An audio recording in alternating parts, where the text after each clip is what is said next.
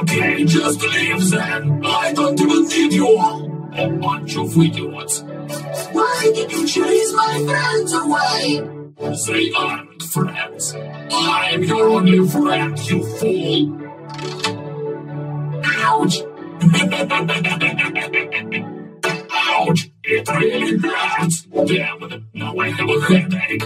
Russia, I've been doing some calculations. And it turns out that it's not profitable for me to be friends with you anymore. Goodbye. Whoa! Well, since even China doesn't want to be friends with you, then I think I'll follow his example.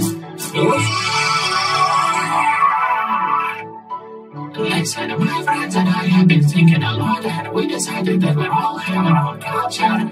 So we want independence. Uh, sorry.